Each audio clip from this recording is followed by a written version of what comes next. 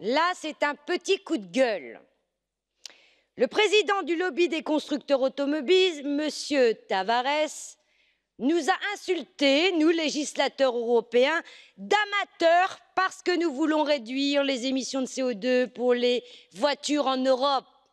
Amateurs parce qu'on entend les jeunes qui marchent pour défendre le climat, qui attendent de nous que nous agissions avec responsabilité pour protéger les générations futures.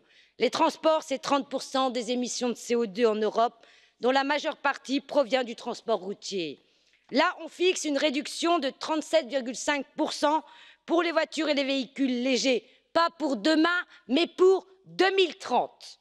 Celui qui pousse à plus tard la lutte contre le réchauffement climatique n'est qu'un climato-sceptique. Alors je le dis à M. Tavares, s'il veut être du bon côté de l'histoire, qu'il investisse maintenant pour produire au plus vite des, voitures à baisse émission parce que c'est bon pour le climat et c'est bon pour l'emploi. je vous remercie.